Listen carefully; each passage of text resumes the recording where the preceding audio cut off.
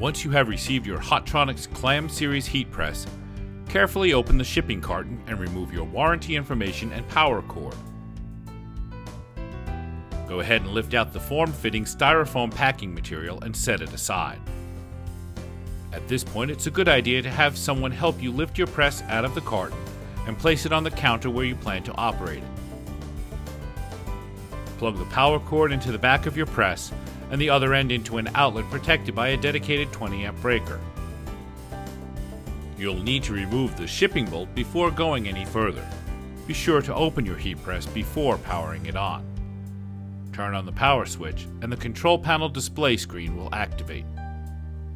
You have successfully unpacked and set up your press and are ready to start making money.